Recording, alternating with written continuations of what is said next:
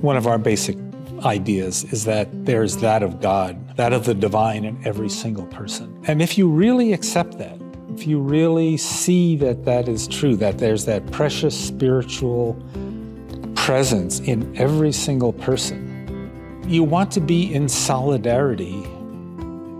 There's a direction to this. It's um, to be better people, better community, better society.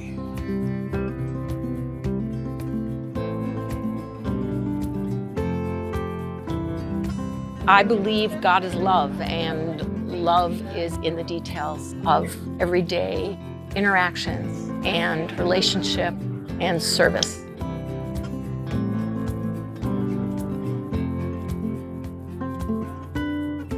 A thriving community is one where people are cared for, knowing that they are loved and supported unconditionally by the people around them.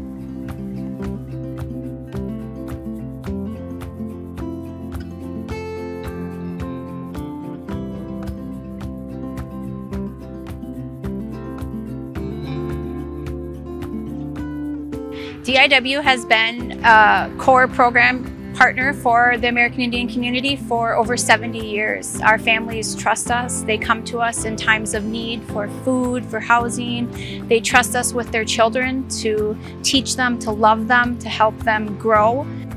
Our mission at DIW is to provide a safe, Indigenous place to empower American Indian families to revitalize health, wellness, education, and self-determination. Our program is a vital part of our American Indian community in St. Paul.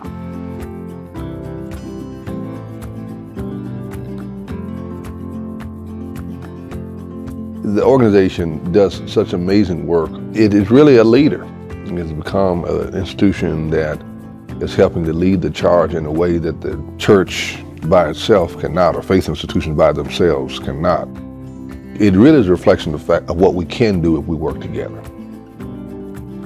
We all work together across philosophical differences and, and even, even faith differences to say, what can we do together to change the world as we know it?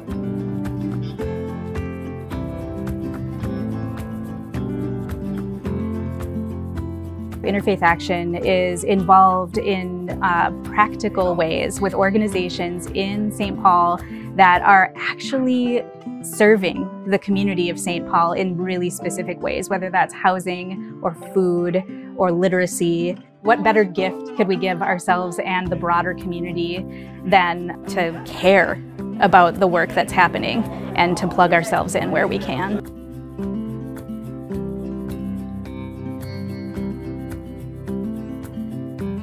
There's an ongoing theme in Judaism. The Hebrew phrase is tikkun olam, which means to heal the world.